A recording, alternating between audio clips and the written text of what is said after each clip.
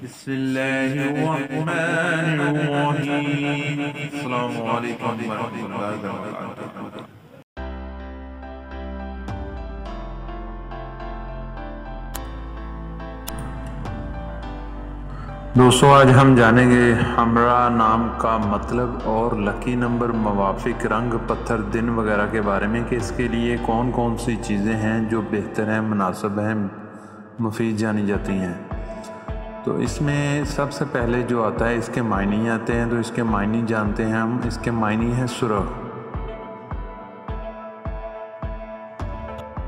इसके अलावा दोस्तों, इसके लकी नंबर की बात की जाए तो इसका लकी नंबर जो है, हिंसों के हिसाब से जो आता है, वो तीन आता है। जिन्स की दोस्तों, अगर बात की जाए तो इसकी जिन्स जो है, वो लड़की है, यानी इस नाम का शुमार लड़कियों के नामों में होता है। इसी तरह मज़हब के बारे में बात करें तो मज़हब इसका इस्लाम है, यानी इस नाम का शुमार इस्लामी नामों में होता है।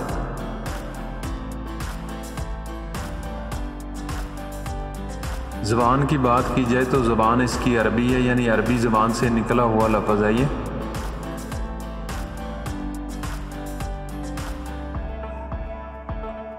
हरूफ के बारे में देखा जाए तो इसके चार हरूफ हैं, यानी चार हरूफ पर मुश्तमिल नाम है ये।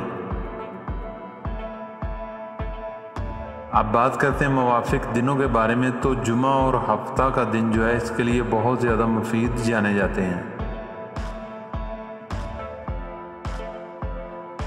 मुआफिक रंगों के बारे में बात की जाए तो नीला बनफशी और काला रंग जो है, इसके लिए बहुत ज़्यादा मुनासिब है, मुफीद है। दोस्तों, पत्थर के बारे में बात की जाए तो नीलम नामी जो पत्थर है, इसके लिए ज़्यादा बेहतर जाना जाता है।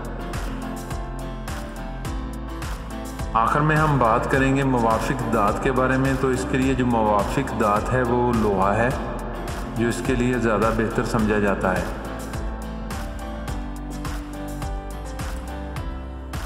थैंक्स फॉर वाचिंग अहमद असर टीवी दोस्तों, अगर आपको ये वीडियो अच्छी लगी हो तो लाइक कीजिए शेयर कीजिए और सब्सक्राइब कीजिए।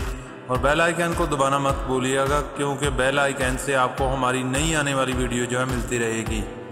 Allah Hafiz.